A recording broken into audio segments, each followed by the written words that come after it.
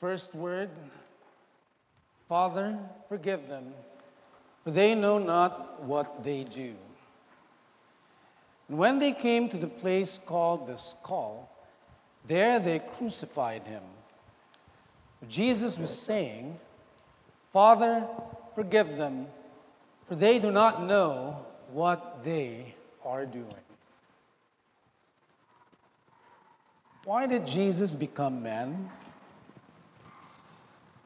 Well, it is, as he said, to serve. He came to serve and to give his life a ransom for many. Contrary to what many believe, he did not die to satisfy the wrath of God, but to reveal who God the Father is. He is the exact representation of him. Writer of Hebrews says, after speaking to the fathers through the prophets, God has spoken us through his Son, the radiance of his glory and the exact representation of his nature.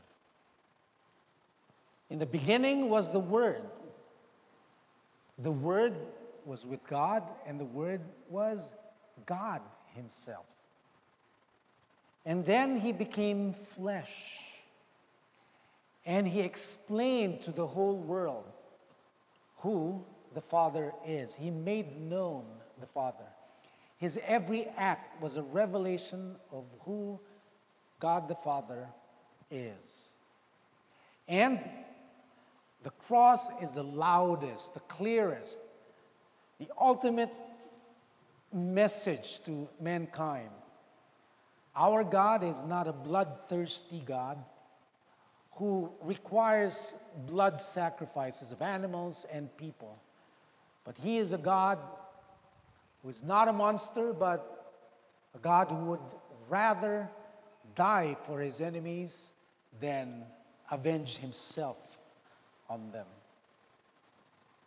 Father, forgive them is not the statement of a Jesus who is merciful, pleading to a, a God who is unmerciful so that he would forgive the people. But no, the father, hearing his son, Father, forgive them, says, Of course we will forgive them. Because that's how we roll, that's who we are, that's the divine nature. Jesus' statement doesn't reflect two different natures of the Father and the Son. No, it reflects the heart of the one God. Hear, O Israel, the Lord our God, the Lord is one. Jesus and the Father are one, and they have the same heart.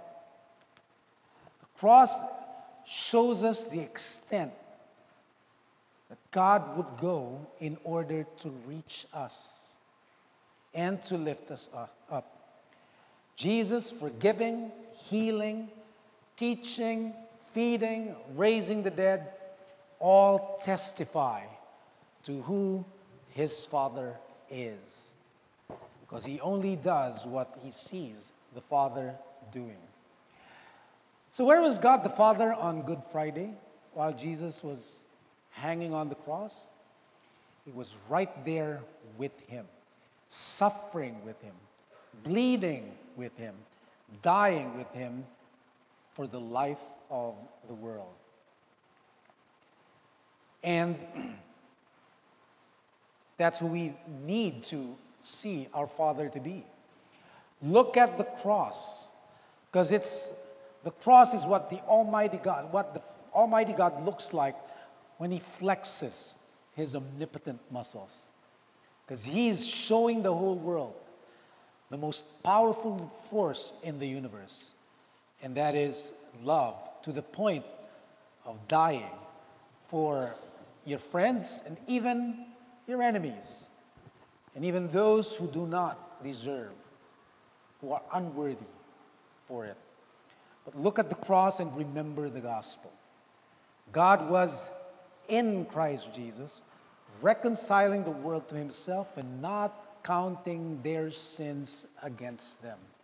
Because God loves us, God has forgiven us, God is not angry at us, and God will never leave us nor forsake us.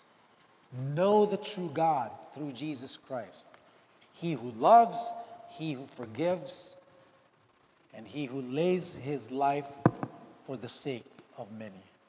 Know him and his Son, Jesus Christ. For this is eternal life, and it's the way it is in the kingdom of God.